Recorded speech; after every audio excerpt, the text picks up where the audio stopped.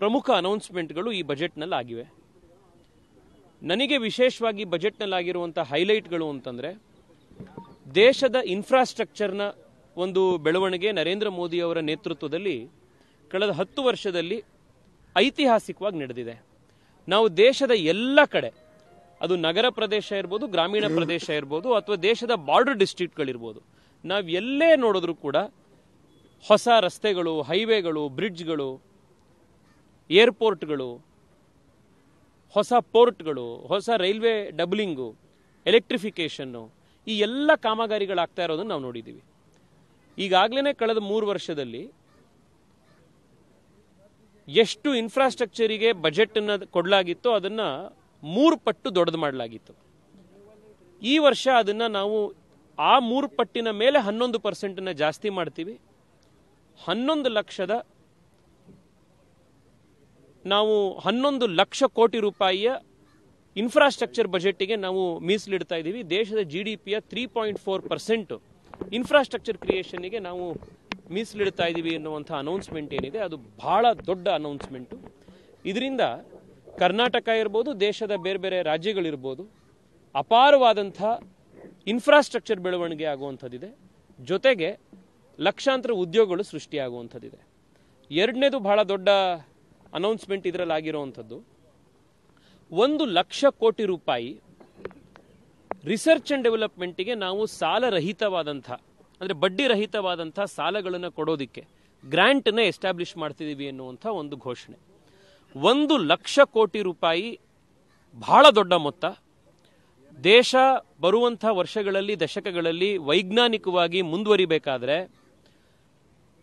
ಬಹಳ ಮುಖ್ಯ ಅಂತಂದರೆ ದೇಶದ ವಿಜ್ಞಾನ ತಂತ್ರಜ್ಞಾನ ಕ್ಷೇತ್ರದಲ್ಲಿ ಮಾಡುವಂಥ ಸಾಧನೆ.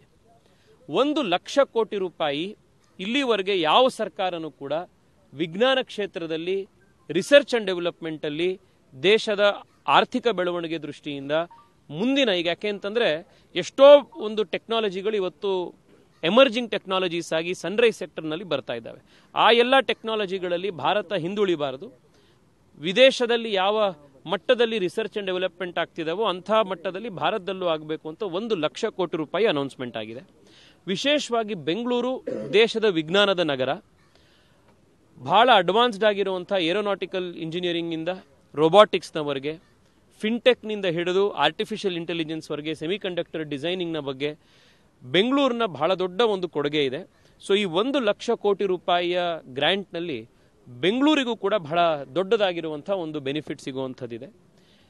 ಒಟ್ನಲ್ಲಿ ಹೇಳೋದಾದರೆ, ಈ ಬಜೆಟ್ನಲ್ಲಿ ದೇಶದ ಅತ್ಯಂತ ಕಡು ಬಡವರನ್ನ ದೃಷ್ಟಿಯಲ್ಲಿಟ್ಟುಕೊಂಡು ಕೂಡ ಸಾಕಷ್ಟು ಯೋಜನೆಗಳನ್ನು ತರಲಾಗಿದೆ. ಕಳೆದ ಹತ್ತು ವರ್ಷದಲ್ಲಿ ನರೇಂದ್ರ ಮೋದಿ ಸರ್ಕಾರದ ಪ್ರಯತ್ನದಿಂದಾಗಿ ಸುಮಾರು ಇಪ್ಪತ್ತೈದು ಕೋಟಿ ಜನ ಭಾರತೀಯರು ಕಡು ಬಡತನದಿಂದ ಹೊರಗಡೆ ಬಂದಿದ್ದಾರೆ. ಬಡತನದಿಂದ, ಗರೀಬಿಯಿಂದ ಮುಕ್ತಿಯನ್ನ ಸಂಪಾದಿಸಿದ್ದಾರೆ.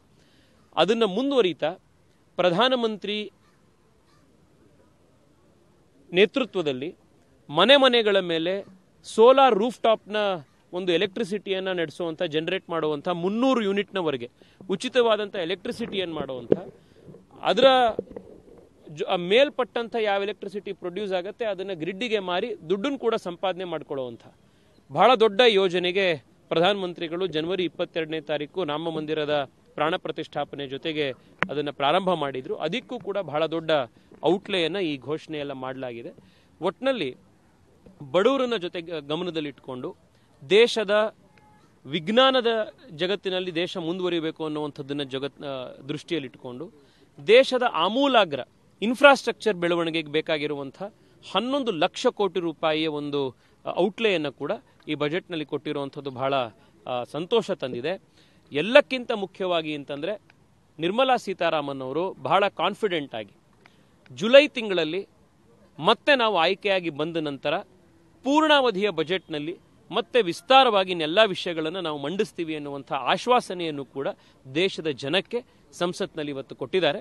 ನಾನು ಪ್ರಧಾನಿ ನರೇಂದ್ರ ಮೋದಿಯವರಿಗೆ, ನಿರ್ಮಲಾ ಸೀತಾರಾಮನ್ ಅವರಿಗೆ ಈ ಬಹಳ ದೇಶದ ಹಿತವನ್ನು ಕಾಪಾಡುವಂಥ ಈ ಬಜೆಟನ್ನು ಮಂಡಿಸಿರೋದಕ್ಕೆ ನಾನು ಅವರಿಗೆ ಧನ್ಯವಾದ ಅಭಿನಂದನೆ ಸಲ್ಲಿಸ್ತಾ ಇದ್ದೀನಿ. ನಮಸ್ಕಾರ.